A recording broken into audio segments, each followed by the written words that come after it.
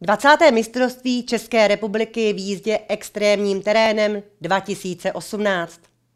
Motokrosová trať Lhov se stala zázemím pro víkendový extrémní závod nákladních vozidel v ještě extrémnějších podmínkách, kdy se během sobotního dne vystřídalo vysoké horko za nekončící bouřkovou průtrž, kvůli které muselo dojít k zastavení závodu. Vydali jsme se na třetí ročník Track Trialu tady v Luhově. Můžete nám představit soutěž Track Trial? Je to soutěž nákladních vozidel v terénu, nejezdí se na rychlost, ale na přesnost a e, můžu říct, že to je sport čím dál tím víc oblíbený. Je oblíbený zejména u mladých, nebo i třeba trošku ta střední generace se tomu věnuje? E, já bych řekla, že jsou tady všechny věkové kategorie, e, jak v řadách posádek, takže už je to třeba dneska tak, že jezdí ty mladí a tátové, který je to naučili, už jim dělají spolujezdce, ale jsou tady i e, třeba posádky, kdy už jsou chlapy v důchodu, ale pořád je to drží, protože drží je tady i ta parta samozřejmě. Dnešní závod, dnešní soutěž je jedna ze sérií. Z kolika sérií? E, máme sérii šesti závodů, jezdíme po celé republice a tohle je letošní čtvrtý závod sezóny a z toho potom zejdou mistři České republiky. Kolik je dneska tady posádek na startu připravený?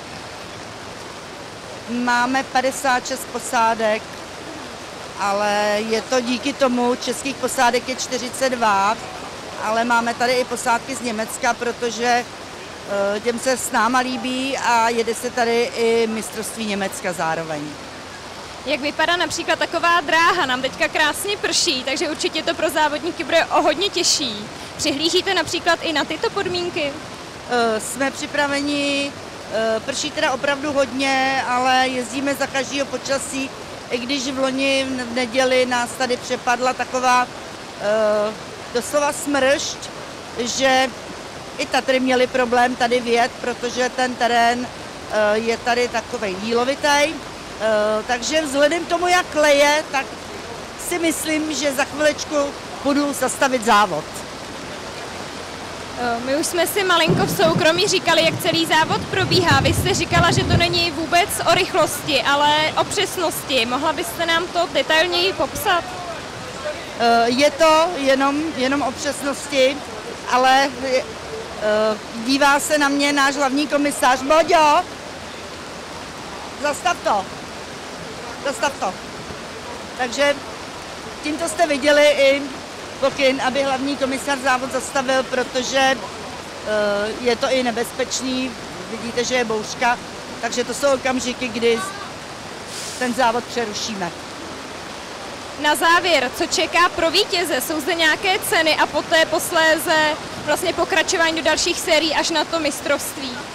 Eh, samozřejmě máme ceny na každém závodě, máme to tak, Eh, že i ten poslední dostane nějakou cenu, protože jsou tady posádky, eh, které nejezdí vyloženě na body, ale jezdí hodně pro diváky, takže mm, dost si toho tady zničí, takže se snažíme ty ceny dávat všem a ty, co jsou na bedně, tak ty k tomu mají navíc poháry a mají ty ceny trošičku, nechci říct slova dražší, ale, ale cenější, ale každý je svým způsobem odměněný.